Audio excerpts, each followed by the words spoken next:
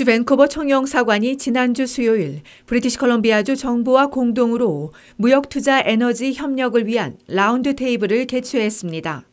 이 자리에서 이기천 총영사는 박근혜 대통령의 국빈 방문 성과와 한 캐나다 FTA에 의해 BC주에 미치는 경제적 혜택을 설명하고 이어 한 BC주 간 에너지 자원 협력과 우리 기업들의 대형 사업 진출의 필요성에 대해 강조했습니다.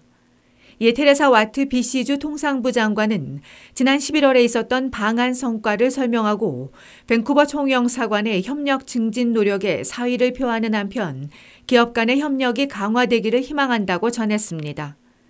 이날 행사에서는 밴쿠버와 캘거리, 토론토, LA 주재 한국 기업과 최호영 옥타 회장 등 한국 기업인 25명, 그리고 BC주 기업인과 관계자 40여 명이 참석해 새로운 사업 기회를 모색하고 네트워크를 강화했습니다.